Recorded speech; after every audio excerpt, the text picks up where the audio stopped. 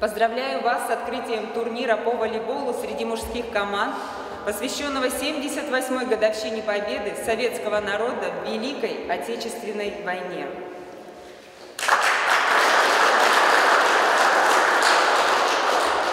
В преддверии самого главного для нашей страны праздника хочется пожелать вам крепкого здоровья, побольше радостных дней, и чтобы на вашем жизненном пути было как можно больше побед, своих личных, командных, семейных.